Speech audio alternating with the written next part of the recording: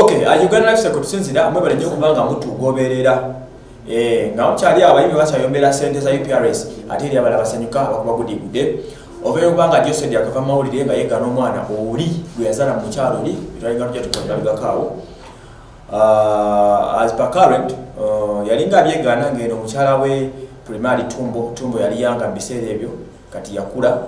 bwe yakuze prima nazaala. Jukira omukyala omukulu ono nga tumukunya ku nsonga za bebi oli gwe yamala ne babikyusa mu ngeri yabyo tutamanya nnyo naye biri official byava biraga nti omwana teyali wajostere ntaata omutuufu yalabika. Kale byali biri awo bityo ngeno prima ateekateeka kubiika era bwe twogerera yamaze dde okuba nga asuula kibebi ekirenzi kye batumye solange oba solange ye bebi owokubiri gwe bayiyeewo omukyalo ono bali bakumaganya emyaka kumi egisembyeyo nga bali bonna era omukwano we guli josted musajja mufumbo bamutumye solange williams kigozi amanya gakitawe genyini bwegutero guli. Era kati wenjogera bali kukuba gudigudde olwokuba tebafunye bebi boy okubanga yegatta ku bebi webali balina bwegutyo bwe guli era wenjogerera omukulu adjusted is now another father.